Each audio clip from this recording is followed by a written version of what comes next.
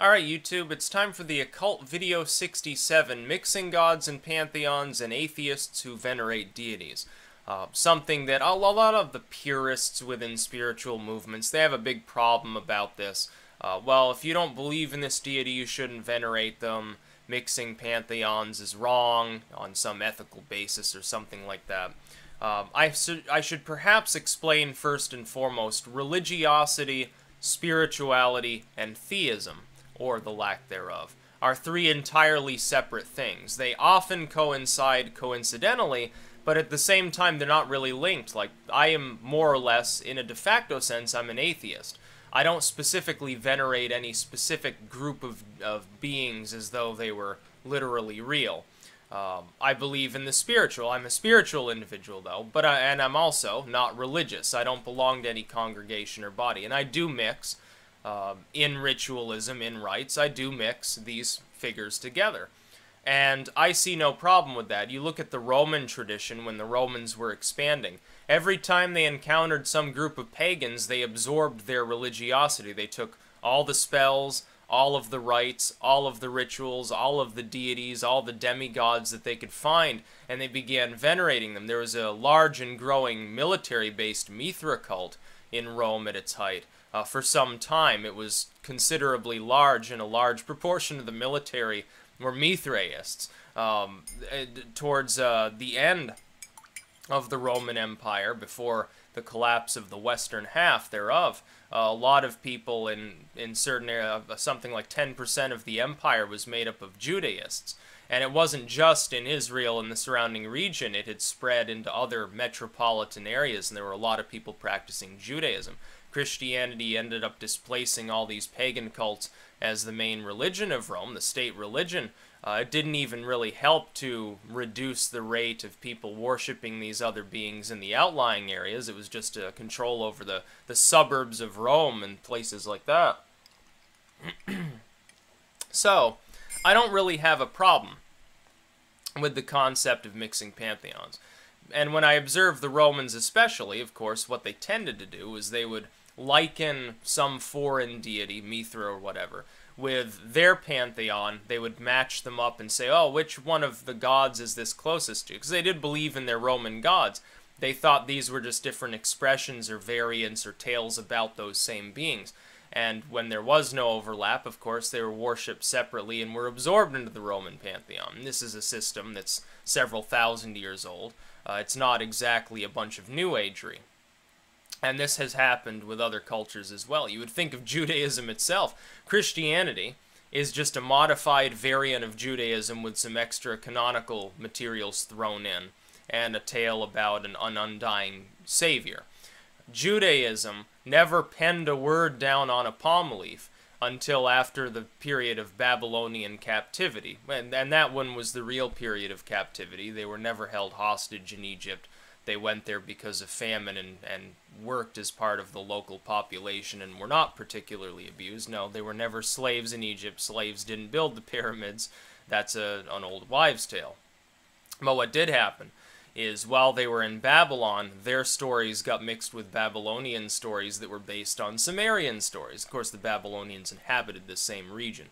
Uh, what ended up happening is you have the filtration of things like the Epic of Gilgamesh into Genesis, creating the story of Noah.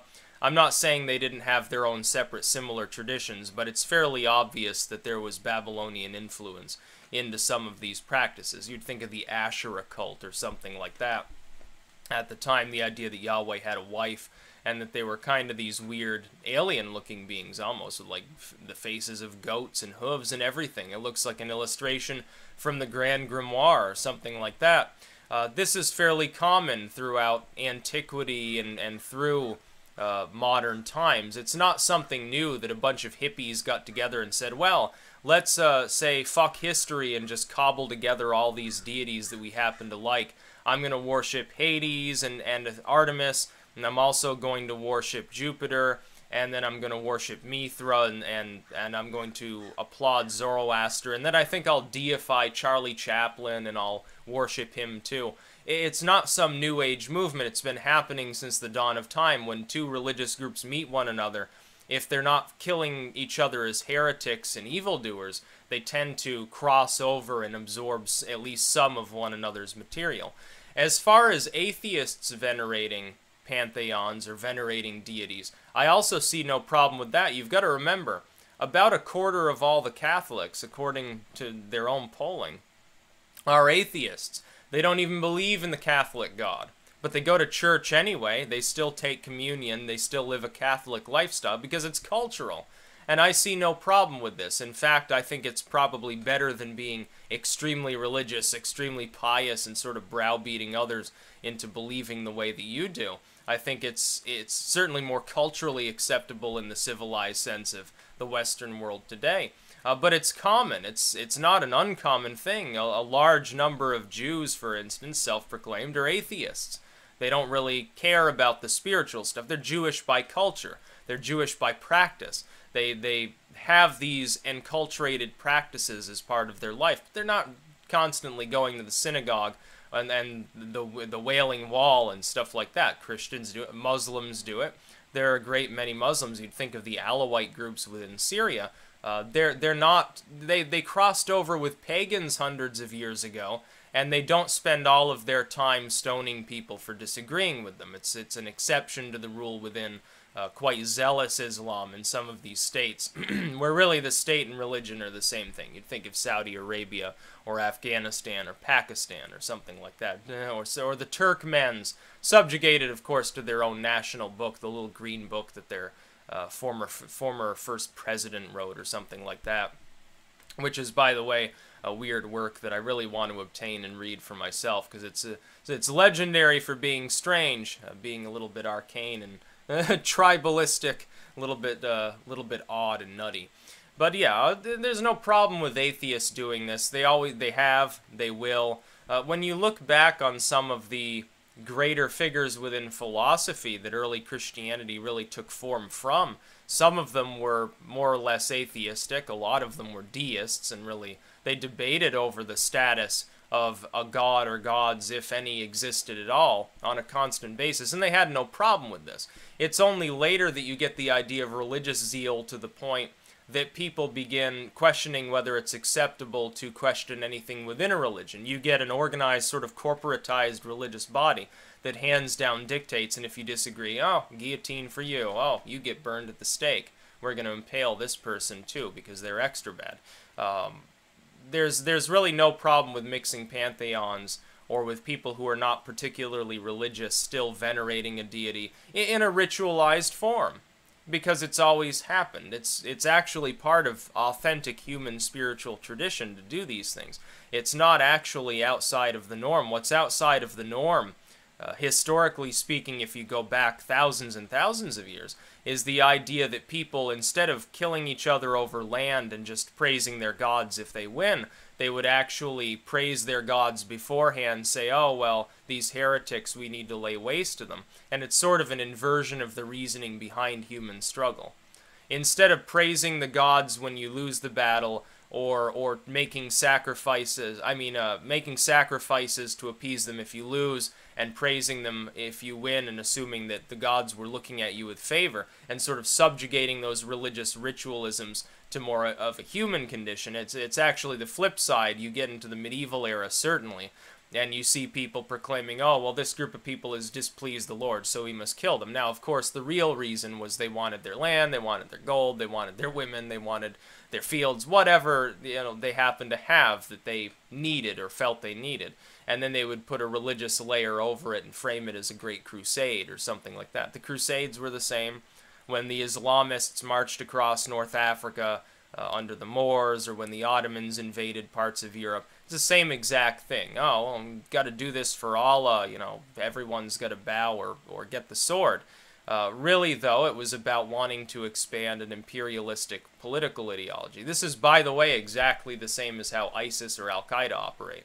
Yes, the religion. We can't ignore the fact that the religion is openly being used as the reasoning behind these things, but it is subjugated to political or social purposes. Let's face it.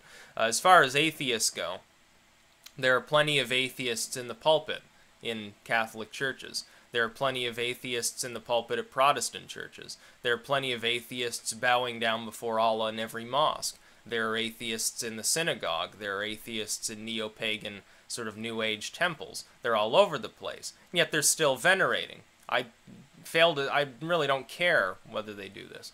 Uh, the idea of mixing pantheons, I do it.